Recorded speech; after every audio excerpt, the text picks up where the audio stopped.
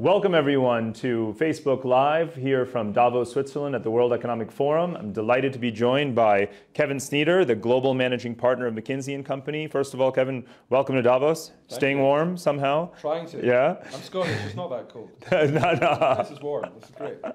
Well, congratulations on becoming the global managing partner of McKinsey. It's very exciting. And uh, of course, one of the most talked about things in the last six months that relates to your ascent into this position is that Bucking Convention, Yeah. uh, you have decided to remain in Asia, in Hong Kong, where you had been serving for years. And you're an Asia hand, you've lived in China before. But how has that been, staying in Asia, running McKinsey from Asia? Um, you know, that, that obviously is a demonstration of how important Asia is for McKinsey and globally. So, how do you respond to that? Well, I think there's two reasons why I stayed. The first is exactly what you said a demonstration that Asia really matters. I believe that passionately. I've lived and worked in and out of Asia since 1995 when I first moved to Hong Kong and then north to mm-hmm. Beijing. Mm-hmm.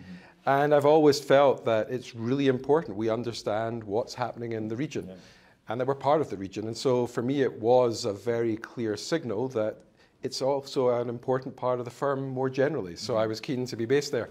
I have to be honest, there's also a personal reason. I'm part of a dual career family. My wife has a job in Hong Kong that she loves and enjoys, and my daughters both were at school in Hong Kong. One of them's just gone to college in the US, the other one is still very much with us in Hong mm-hmm. Kong. And we And felt from a food. family we should stay. And then there are many other reasons. It's a great city, there's lots going on there. We stayed. Yeah. So Asia is very vast. No two people have the same understanding even of the geography of Asia. For me, it literally stretches from the Persian Gulf to Russia to Australia to Japan. You're at the heart of it. But how do you prioritize among this vastly diverse landscape of Asia with, uh, quite frankly, obviously differential growth prospects?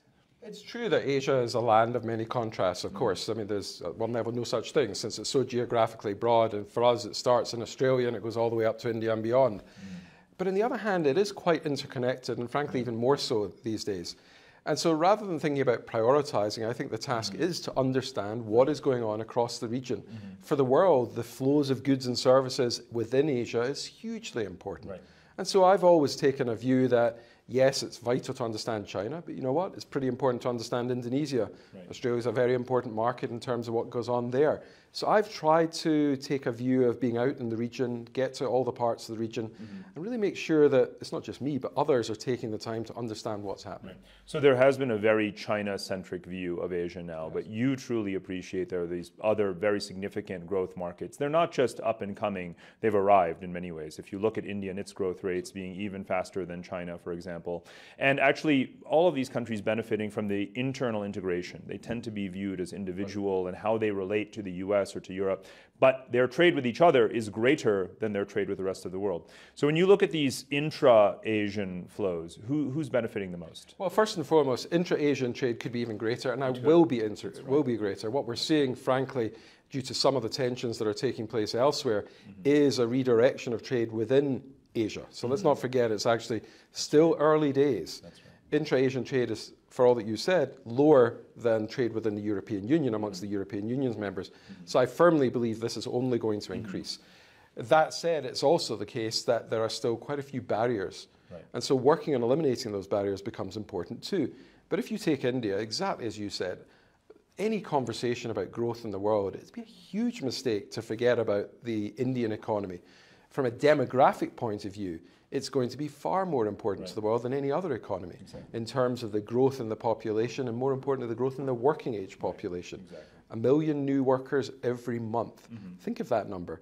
And remember, in other parts of Asia, like Japan, a very significant contraction in the workforce, down 20%, some people think, over the next 15 years. Mm-hmm. And China's already seen its workforce plateau, and it too will start to decline. Mm-hmm. So a conversation about Asia is complete, is inadequate if it doesn't include a real understanding of what's happening in India.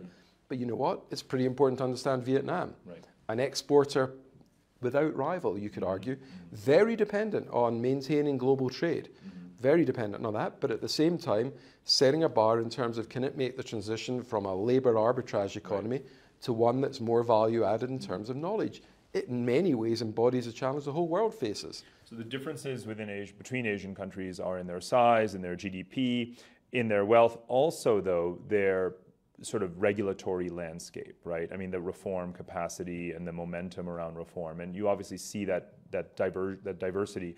McKinsey, obviously, very unique in operating, you know, very strongly across public and private sectors. You're an agent of reform. You know, you help improve corporate governance, state capacity.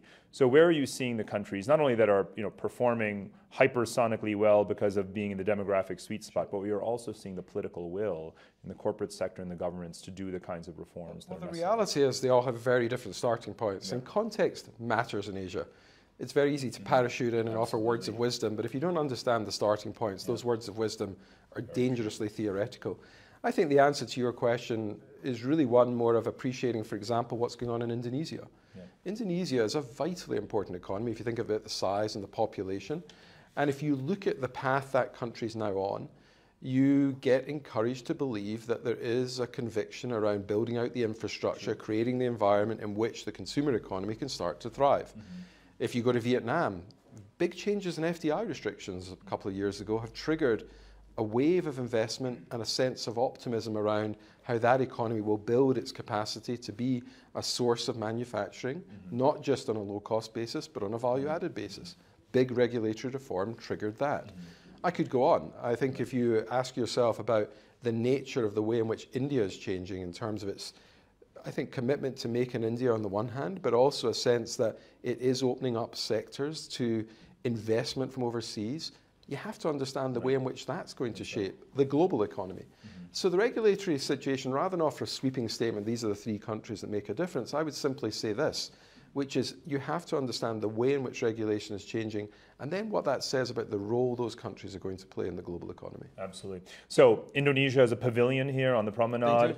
Four or five Indian yeah. states do, whose names too. most people can't pronounce, but there is a very robust Asian presence here. However, inside the Congress Center, the mood does not reflect this Asian optimism. Yep. And you're inside there, you're talking to political leaders, business leaders. What are you hearing and what are you telling them from your very unique vantage point in yeah, Asia? You're right. It is um, quite striking because you come from Asia where I think there remains a general level of confidence, notwithstanding an admitted slowdown, as Wang Qishan said, in the Chinese economy, but one he characterized as being relatively modest. Mm-hmm. And I think in Asia, that's the general sense, though, of course, there has been a slowdown and softening. But you come here, and I, my characterization is a lot of caution, mm-hmm. trending gloomy. You know, right. there is just this sense of unease. I ask a lot of CEOs when I meet them, and I've had the chance to meet a lot in the last couple of days, how's business? And what they all reply is, my business is great, but I'm worried about everybody else's business. and you know, just that comment talks to the sort of sense of concern, concern around global tensions, concern around the transition in technology and what that means for their businesses, concern around how are commodity prices moving, what's going to happen to oil. So lots of reasons why people are moving from this time last year in Davos, when I think people were generally seeing some of those issues but putting them behind them and remaining confident and optimistic, to a general sense of caution and, as I say, trending gloomy. Mm-hmm. And that is a shift, and you feel it. And that, but that's very internal. It seems to be a Western conversation. What, right. what about the Asian ideas, you know, and the Asian promise? Well, that's the contrast. Yeah. That is the contrast. I've been to plenty of the Asian sessions, and rightly, as you said, mm-hmm. Many countries are well represented here, and you go to those and you think you're having a different Davos. Exactly, yeah. Because within those rooms, it's still a conversation around what are we doing to drive development? Is our embrace of technology fast enough to ensure we're not just competing mm-hmm. on labour? How do we think about what we're doing on the educational reforms that are happening in many Asian countries? But it's all couched in a positive sense, and frankly, the phrase that comes to my mind is tomorrow will be better than today. Right. That conviction, tomorrow mm-hmm. will be better than today, is uniformly felt. Yeah. Even though it might be a little less better than we thought, but it's still going to be better. Right. The optimism, optimism is not a word I would use to characterize some of the other sessions I've been in. Yeah. So now you're about six months into your tenure as a global managing partner. What are the key things you've learned in the last uh, six months? Gosh, um, well, the first thing I learned is nothing prepares you for the role. Right. You think you know what you're getting into, but mm-hmm. actually you don't. And what I've learned in the first six months is the world is a really big place. I've had the chance to really get around mm-hmm. because I've been based in Asia, I was based in the US for 10 years, I was based in Europe for many years.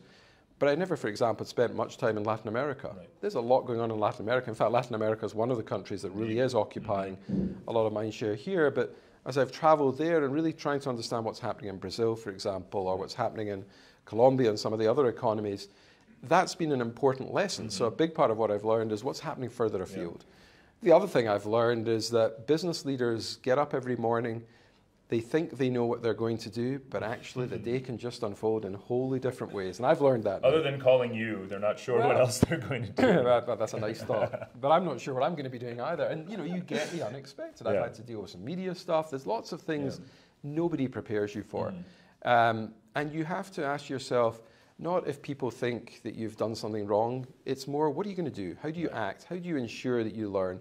And so that's been a big part of what I've been doing. It's fitting that you've been globetrotting so much since McKinsey is such a global company, but it's also become a real agent of digital transformation. It's a big theme. You know, your reports are very successfully quantifying in a way how digitization is playing out, the value of the services economy to the world and so forth. It's a real thought leadership value added.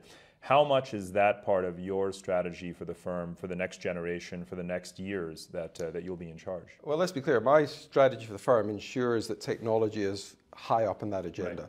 It's not just my strategy. That's what we, I think, very much believe. We believe we have to make sure that we and our clients are prepared for the many ways in te- which technology is reshaping our businesses. And there's so many forms of that. The digital quote revolution, well underway, of course, embraced by many, but not by all. The embrace of data and analytics to really make sure we understand new ways to make decisions. We're investing a lot in that. We have 6,000 technologists Wow. dedicated to making sure we're in a better place to understand what's going on. 2,000 translators, 4,000 core IT. That's a big shift. And at the same time, frankly, thinking through the organizational aspects of all of this, mm-hmm. because you can embrace the technology, but then the organizational shift is enormous. Mm-hmm. You wrap all that up, actually, we're doing a lot of work in strategy, our heritage, because in this world where technology is reshaping organizations, the choices you make around portfolios, where you compete, how you compete, the classic strategy choices have also come back onto the, the agenda. So we're spending a lot of time on those issues. Mm-hmm. My strategy is a simple one. It's the partnership decides what it wants to do. But if I can nudge it in the direction of a real investment in technology, a real focus on what that means for the world and for us and our clients, that's a good thing. So that's very high up on the agenda. So clearly, you fit this pattern of global strategic thinking that McKinsey is uh, characterized for, but you are doing it in this unorthodox way, if you will. But that'll become the new norm uh, to do so do the same. out of uh, out of Asia. So, on behalf of the five billion Asians, uh, we want to show our gratitude for your decision to base uh, yourself to stay in Asia, and I present you the Futures Asian Award. Oh, Uh, thank this is actually my new book. You're the first to receive it. Thank you. So, thank you very I'm, much. I'm touched. Uh, I'm touched. Do I get to cry now? or what should I but do? no, no, you don't have You to. You don't have to. Mom, look at this. Well, thank you everyone for joining us here on Facebook Live from the World Economic Forum in Davos. It's been a pleasure uh, having you join our conversation, and uh, we look forward to the next one. Kevin, congratulations again. Thanks, Great to chat with you. Great being with you. Thank you. Thanks a lot.